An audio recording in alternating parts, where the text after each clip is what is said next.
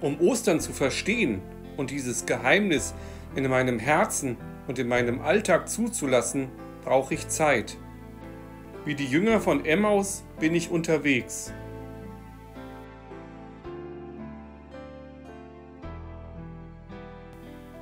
Gerade wenn ich nicht an Gott denke, war er ganz nah bei mir.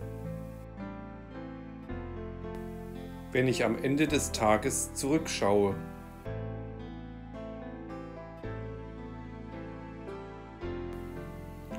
Nicht nur beim Brotbrechen.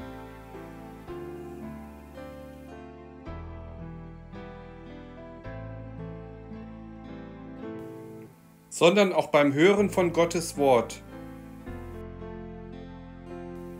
ist Jesus wie Licht in der Nacht.